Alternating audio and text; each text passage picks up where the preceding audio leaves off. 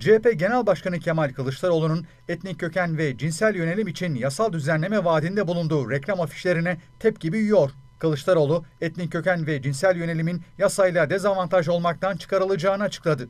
Afişlere tepki gösteren Vatan Partisi Genel Sekreteri Özgür Bursalı, bu afişler CHP yönetiminin ABD'nin küreselleşme adı altında Milli Devleti Yıkma Programı'nın mızrak ucu olduğunu bir kez daha kanıtlamıştır. CHP Genel Merkezi İzmir, Şişli, Kadıköy ve çok sayıda belediyesi de bu programın renkli bayrağı haline gelmiştir ifadelerini kullandı. CHP yönetiminin Türk milletiyle en ufak bir Birçok kentteki reklam panolarına asılan afişlere tepki gösteren Bursalı, CHP ve HDP'nin kol kola olduğunu vurguladı. CHP ve HDP PKK bu programda kol koladır. Hedefleri etnik mezhepsel bölünme ile her türlü ideolojik ve kültürel yozlaşma ve kimliklere özgürlük siyasetiyle milli devleti yıkmak, milli kimliği bastırmak ve yok etmektir. Vatan Partisi Genel Sekreteri Özgür Bursalı, afişte vaatlerin emperyalist merkezli olduğuna da dikkat çekti. Afişte vaat edilenler emperyalist merkezlerin anti özgürlükleridir.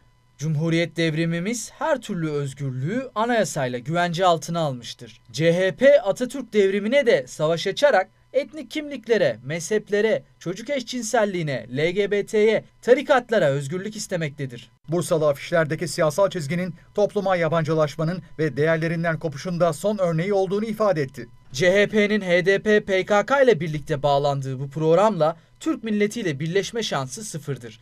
Çöken programlarıyla birlikte tarih olacaklardır.